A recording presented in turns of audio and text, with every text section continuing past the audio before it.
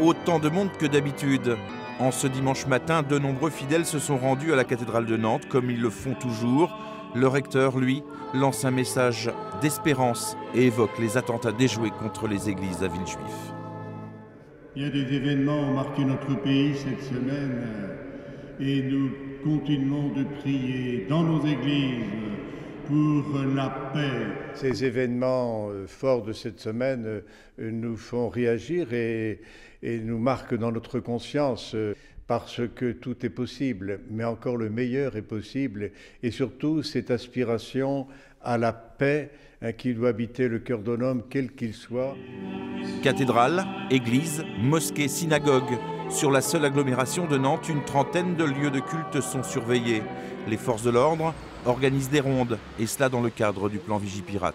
Ici, les fidèles ne veulent pas céder à la peur. Je continuerai à venir à l'église, j'espère, euh, très longtemps. Euh, ça m'inspire beaucoup de tristesse, évidemment. Et j'essaye que l'inquiétude reste derrière par rapport à, à l'espérance. C'est des situations ext extrémistes, donc euh, c'est forcément euh, marginal. Donc euh, voilà, donc nous, moi je pense qu'il faut continuer à croire à ses valeurs, croire à, ses, à sa foi. Surveillance, gestion des colis suspects, la police travaille avec les responsables religieux de l'agglomération nantaise et rappelle qu'en cas d'urgence, le numéro à composer est le 17.